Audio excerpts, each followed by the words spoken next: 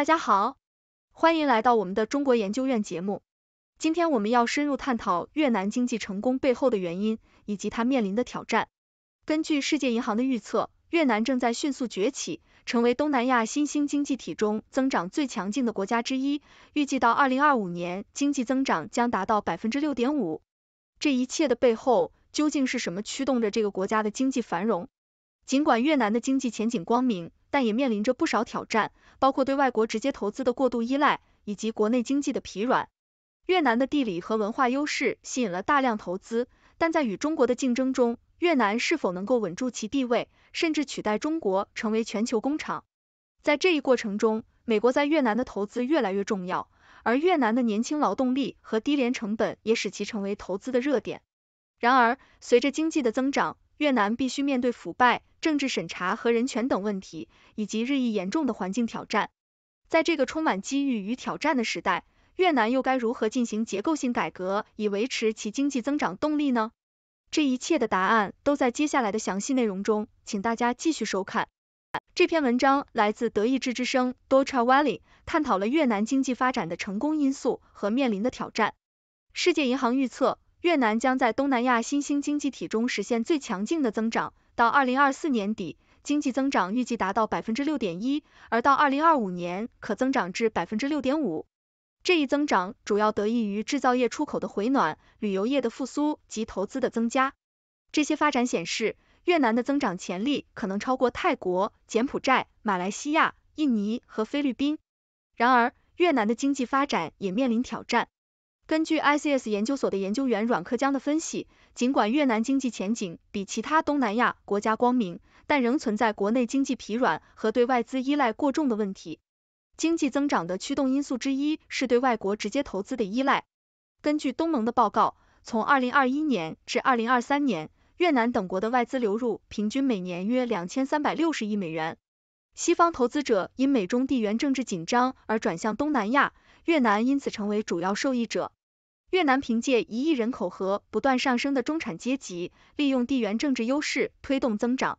中国是越南最大贸易伙伴，在其制造业中扮演关键角色，大部分原材料来自中国。全球经济策略中的中国加一思维，促使企业在拓展市场时选择越南作为替代或补充选择。战略与国际研究中心的副研究员陈碧指出，越南因地理和文化的接近性，成为中国加一政策的首选。但由于规模较小，越南仅能吸引少数希望搬迁的公司，而如果印度开放经济，其竞争力或超过越南。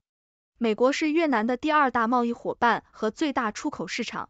二零二三年九月，华盛顿和河内提升了外交关系，签署全面战略伙伴关系，旨在促进经济利益。美国的大量投资对越南经济发展至关重要。科技巨头苹果公司过去五年在越南投资超过一百五十亿美元，越南因此成为重要制造基地。越南的低廉劳动力成本和年轻人口使其对投资者具有吸引力。然而，快速增长伴随国内问题，如腐败、政治审查和人权问题。在国际市场竞争中，小型和中型企业举步维艰，加上气候变化导致生活必需品价格上涨以及电力短缺问题，越南需要增加可再生能源的使用。世界银行东亚经理塞巴斯蒂安·艾卡特建议越南进行结构性改革，以维持增长动力，包括加深结构性改革、增加公共投资以及小心管理金融风险。请大家收看中国研究院相关的专题报告。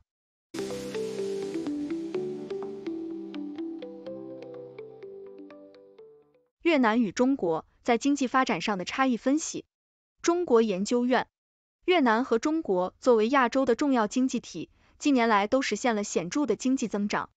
然而，两国在经济发展模式、产业结构、政策环境和社会经济指标等方面存在显著差异。中国研究院通过对比两国的经济发展路径，分析其差异背后的原因，并探讨未来的发展前景。中国研究院将结合最新数据、案例和专业术语，深入剖析两国在经济发展上的异同。引言。在全球经济版图中，越南和中国都扮演着重要角色。自二十世纪八十年代以来，两国都实施了经济改革，推动了市场化进程。然而，随着时间的推移，两国的经济发展路径逐渐分化，呈现出不同的特点。理解这些差异对于政策制定者、投资者和学者具有重要意义。一、经济改革背景。一、中国的改革开放。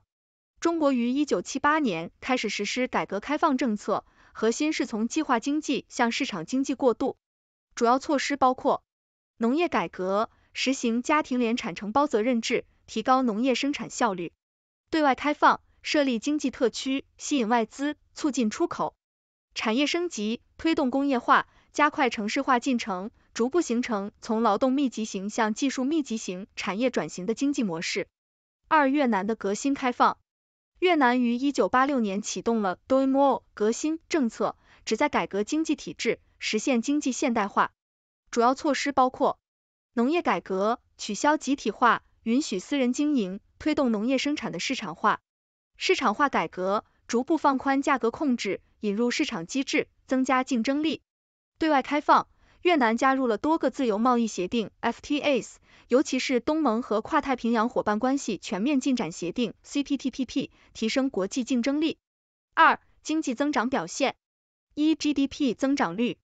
中国根据世界银行的数据，二零一零年至二零二三年间，中国 GDP 年均增长率约为百分之六点五。然而，近年来由于全球经济放缓、内需不足等原因，增速有所放缓。二零二三年中国 GDP 增长率预计为百分之五点零，虽然有所回升，但未达之前的高速增长水平。越南同期，越南 GDP 年均增长率约为百分之六点八，增长势头持续强劲。二零二二年越南 GDP 增长率达到百分之七点零，二零二三年预计为百分之七点一。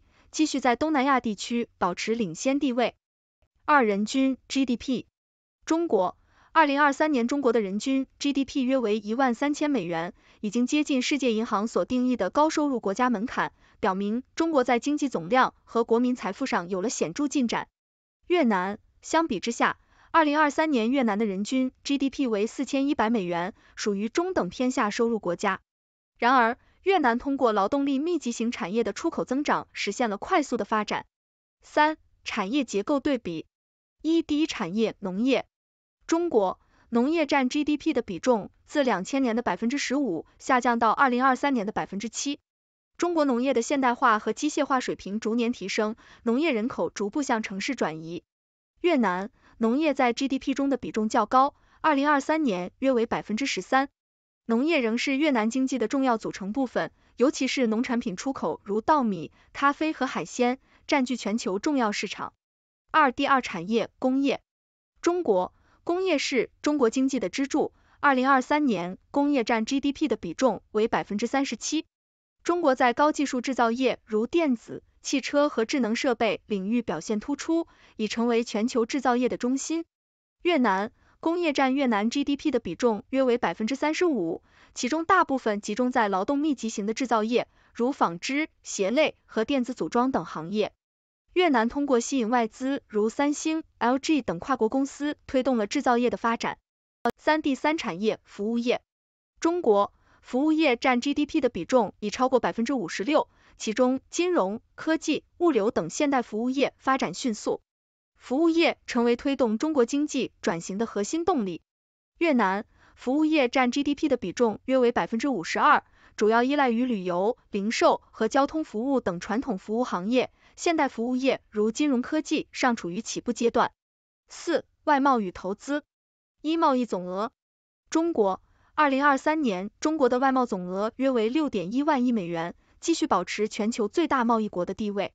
主要出口产品包括电子产品。机械设备和纺织品。越南，二零二三年越南的外贸总额约为七千三百亿美元，出口增长显著。越南已成为全球重要的出口基地，特别是在电子产品、纺织品和农产品方面。二、外商直接投资 FDI。中国，二零二三年中国吸引的 FDI 约为一千八百亿美元，高技术产业和服务业吸引了更多外资。中国市场的巨大潜力和稳定的政策环境仍对全球投资者有吸引力。越南，二零二三年越南吸引的 FDI 约为二百九十亿美元，创下历史新高。外资主要来自韩国、日本和新加坡，投资集中于制造业、房地产和能源领域。五、劳动力与人力资本。一、劳动力规模。中国，中国的劳动力总数约为七点七五亿人，但人口老龄化和劳动力成本上升成为未来发展的挑战。二零二三年，劳动年龄人口继续下降，劳动力红利逐步消失。越南，越南的劳动力总数约为五千七百万人，具有年轻的人口结构，劳动力成本相对较低。越南被认为是全球制造业的下一站，吸引了大量外资工厂。二、教育与技能。中国，中国的高等教育普及率逐年提高，科技人才储备丰富。政府在科研和创新领域的投入加大，推动了人工智能、芯片制造等高科技产业的发展。越南，尽管越南的基础教育较为扎实，但高等教育资源相对不足，技能培训体系尚不完善，这在一定程度上制约了高附加值产业的发展。六、政策环境与制度差异。一、政府角色。中国，中国政府在经济中扮演着重要角色，宏观调控能力强。中央政府主导的大规模投资项目和产业政策推动了基础设施建设和科技创新，但市场机制仍有待进一步完善。越南，越南政府积极推进市场化改革，鼓励外资进入。但国有企业在经济中仍占据重要地位，私营企业的发展在某些行业面临较多限制。二、法律与监管。中国，中国的法律体系日趋完善，特别是在知识产权保护和外资准入方面取得了进展，但在执行和透明度方面仍存在一定的挑战。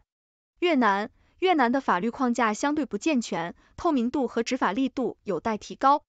这使得一些外资企业在越南的投资环境中面临较高的法律和合规风险。三、开放程度。中国，中国积极参与全球化进程，但近年来面临的地缘政治压力和贸易摩擦带来了新的挑战，尤其是在与美国的关系上。越南，越南高度依赖国际贸易，并签署了多项自由贸易协定，如 CPTPP。RCEP，这使得越南的外贸和投资环境更具吸引力，尤其是对西方和东盟国家。七、案例分析：一、制造业转移。随着中国劳动力成本的上升，部分劳动密集型产业开始向越南等国家转移。越南凭借较低的劳动力成本和优惠的投资政策，吸引了大量制造业投资。案例：三星电子。三星电子在越南的投资累计超过一百八十亿美元。越南已经成为三星最大的智能手机生产基地。这一投资不仅推动了越南电子制造业的发展，也为越南创造了大量就业机会。影响对中国产业转移倒逼中国制造业进行升级，企业逐渐向高科技、高附加值领域转型。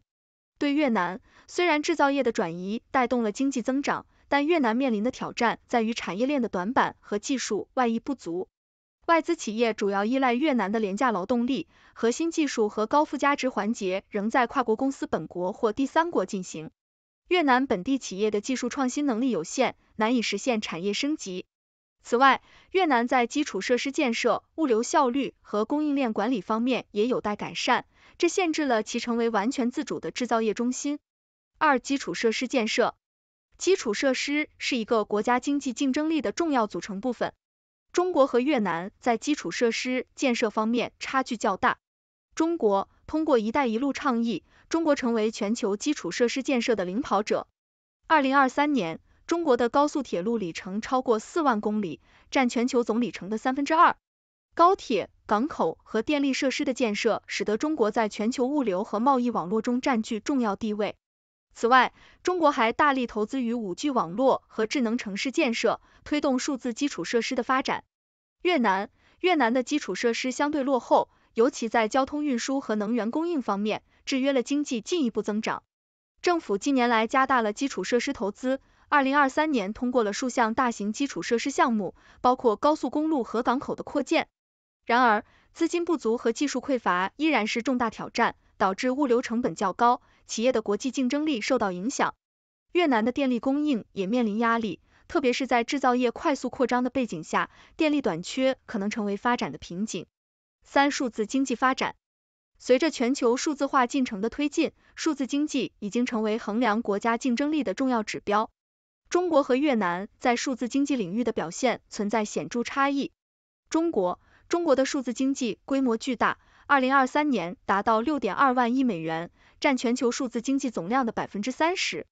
电子商务、移动支付和金融科技领域发展迅速，阿里巴巴、腾讯、华为等中国科技巨头在全球具有影响力。中国在人工智能、云计算和大数据方面也取得了重要突破，成为全球数字经济创新的重要推动者。越南，越南的数字经济起步较晚，但近年来增长迅速。二零二三年，越南的互联网普及率达到百分之七十四，电子商务市场的年均增长率达到百分之二十。越南政府推出了国家数字化转型计划，希望到二零三零年将数字经济占 GDP 的比重提高到百分之三十。然而，越南的数字基础设施仍较为薄弱，尤其在农村和偏远地区，互联网接入和信息化水平较低，阻碍了数字经济的全面发展。八、社会经济指标。一、人类发展指数 HDI，中国根据联合国开发计划署 UNDP 二零二三年的数据，中国的 HDI 为零点七六八，属于高人类发展水平。中国在健康、教育和生活水平方面取得了显著进展，平均预期寿命达到七十七点九岁，教育普及率大幅提高。越南二零二三年越南的 HDI 为零点七零七，属于中高人类发展水平。越南在健康和基础教育方面表现较好，但高等教育和职业培训资源不足，限制了劳动力的技能提升和社会流动性。二、贫困率。中国，二零二零年，中国宣布全面消除绝对贫困，贫困人口基本清零。尽管如此，城乡收入差距依然较大，农村地区的经济发展水平和生活条件与城市地区仍有显著差异。越南，越南的贫困率有所下降。尤其是在经济快速发展的地区，然而农村和少数民族地区的贫困问题依然突出。根据世界银行的数据显示，二零二三年越南的贫困率约为百分之五点八，部分农村地区的贫困状况仍然较为严重。三、城市化率。中国，二零二三年中国的城市化率达到百分之六十五，城市人口超过九亿。中国的城市化进程快速推进，尤其是在东部沿海地区和大城市群，现代城市生活方式和基础设施配套完善。越南，越南的城市化率相对较低，二零二三年约为百分之四十。越南的城市化进程主要集中在河内、胡志明市等大城市，然而由于基础设施落后，城市化的可持续性面临挑战，部分城市居民依然缺乏基本的公共服务和住房保障。九。环境与可持续发展。一、环境挑战。中国随着工业化和城市化的推进，中国面临严重的环境问题，空气污染、水资源短缺、土地退化和生态系统破坏等问题成为社会关注的焦点。中国政府近年来加大了环境保护力度，推行严格的环境法规，并实施碳中和战略，力争到二零六零年实现碳中和。越南，越南的环境问题同样严峻。尤其是工业污染和城市垃圾处理，快速的工业化进程导致空气和水质的恶化，特别是在制造业集中的地区。越南在环境治理和环保技术方面的投入有限，环境监管制度不完善，未来的可持续发展面临较大挑战。二、可再生能源。中国，中国是全球最大的可再生能源投资国。二零二三年，中国的风能和太阳能装机容量继续保持全球首位。中国政府大力推动能源结构调整，降低对煤炭的依赖，增加对清洁能源的投资，以实现能源转型和碳排放的减少。越南，越南的可再生能源发展潜力巨大，尤其是太阳能和风能领域。二零二三年，越南的可再生能源装机容量达到十八千兆瓦，其中太阳能和风能发电占比显著增加。然而，越南在能源技术和投资支持方面仍然存在较大不足，能源基础设施建设相对滞后，难以充分发挥可再生能源的潜力。十、未来发展前景。一、中国的机遇与挑战。机遇：中国在科技创新、产业升级和内需市场方面有巨大的发展潜力。中国的“十四五”规划强调高质量发展，通过推动绿色经济和数字经济，进一步提升全球竞争力。挑战。中国面临的人口老龄化、劳动力成本上升、地缘政治压力和环境压力等挑战，尤其是在全球贸易摩擦加剧的背景下，如何应对外部不确定性，成为中国未来经济发展的关键问题。二、越南的机遇与挑战。机遇：越南在全球制造业转移的大背景下，具备人口红利和较低的劳动力成本，国际投资的不断涌入为越南带来了经济增长的新动能。同时，越南积极参与区域和全球贸易协定，进一步推动了出口导向型经济的发展。挑战：越南的基础设施建设和人力资本积累仍然落后，制约了其进一步发展高附加值产业的能力。此外，越南的制度改革速度相对较慢，如何加快法律框架的完善，吸引更多高质量的外资，将是越南面临的重要任务。十一结论：越南和中国在经济发展上既有相似之处，也存在显著差异。中国在工业化和现代化方面走在前列，已经进入以创新驱动为主的高质量发展阶段，而越南则处于工业化的中期阶段，受益于全球产业链调整，经济增长迅速。然而，越南在基础设施、劳动力技能和政策环境方面存在较大短板，需要通过进一步的改革和投资加以改善。两国的经验和教训为其他发展中国家提供了宝贵的参考。中国的快速工业化和现代化过程展现了从计划经济向市场经济转型的成功路径，而越南通过吸引外资和融入全球价值链，实现了持续的经济增长。未来，越南应在制度改革、科技创新和可持续发展方面加大投入，抓住全球经济结构变化的机遇，提升国家竞争力。十二、政策建议：对中国，深化改革开放，进一步完善市场机制，营造公平竞争环境，优化外资准入和法律框架，增强国内外企业信心，推动科技创新，加大科研投入。特别是在高科技和绿色技术领域，培育新兴产业，提升产业链价值；应对人口老龄化，完善社会保障制度，鼓励延迟退休，提升劳动生产率，减少老龄化对经济增长的负面影响。对越南，提升基础设施，吸引国际投资，改善交通和能源设施，减少物流成本，提升工业和服务业的效率；加强教育培训，扩大高等教育和职业技能培训，提高劳动力素质。满足制造业升级和高附加值产业发展的需求，完善法律制度，增强法律透明度和执行力度，完善知识产权保护和外资准入政策，为外商提供更为稳定和友好的投资环境。参考文献：一、世界银行二零二三全球经济展望；二、国际货币基金组织二零二三世界经济展望报告；三、联合国开发计划署二零二三人类发展报告。四、中国国家统计局二零二三国民经济和社会发展统计公报。五、越南统计总局二零二三越南经济统计年鉴。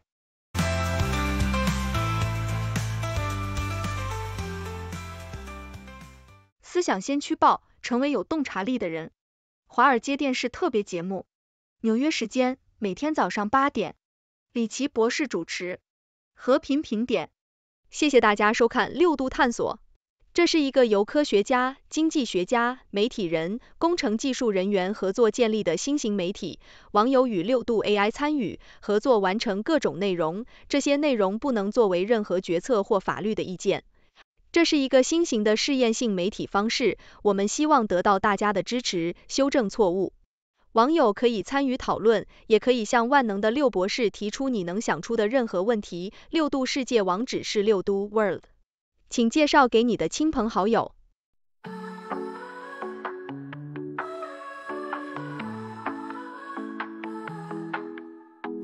Waking up to wonders, checking nature blunders. Got our rockets flying while the oceans are sighing. Lasers in the sky now, holograms we say wow Quantum leap